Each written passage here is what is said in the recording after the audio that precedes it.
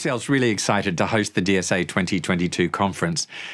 This conference adopts justice and equity as central normative lenses to explore pathways to just sustainable futures in an urbanising and mobile world, and one that's facing a climate and ecological crisis in a pandemic context. We look forward to welcoming hundreds of participants in July 2022. The conference will bridge disciplines and professional boundaries by bringing together academics, practitioners, and policymakers to discuss these crucial issues. We expect a global audience, particularly from the global south, and have set up fee discounts and waivers to ensure that this conference will be as inclusive as possible of all voices. UCL's always been a progressive pioneer in providing access and quality, being the first university in England to welcome students of any religion and to welcome women to university education. UCL's the right place for this timely discussion about just and sustainable futures. The Development Studies Association is for all researchers and professionals working on development, and our membership extends well beyond the UK to include many from the Global South. This year, our annual conference will run between the 6th and 8th of July online and be hosted by University College London.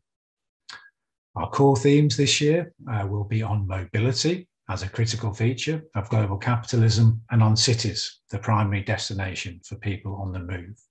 And cities, of course, host some of our world's most pressing problems inequalities, lack of decent jobs, poor health, and particularly in a pandemic and post pandemic context.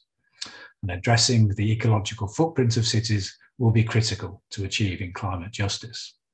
But we'll also be covering the wider range of development challenges and solutions at conference this year. Conference will have a different format this year. We'll be having a series of advanced webinars to get the conversation started and establish the themes. And one of these will focus on celebrating 50 years of BRAC uh, to see what we can learn from one of the world's largest NGOs. At conference itself, our plenary sessions will have leading academics and practitioners. Our parallel sessions will include interactive workshops, roundtables, and paper-based sessions with a difference. Our contributors will upload their materials in advance to make sure we can spend all of the time that we have together online in active discussion and debate. Uh, this approach will reduce the number of passive hours spent on screen, uh, reduce our carbon footprint as well, and make sure we can be as inclusive as possible.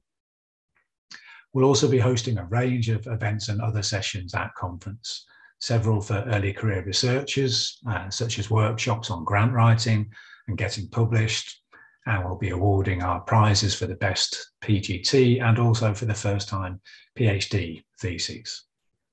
We'll be hosting our uh, study group meetings, uh, many book launches, and also the annual general meeting, uh, where members can have a chance to find out what their association has been up to over the past year.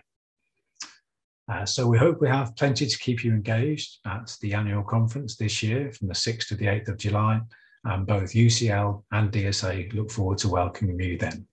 A reminder that the call for papers closes on the 11th of March.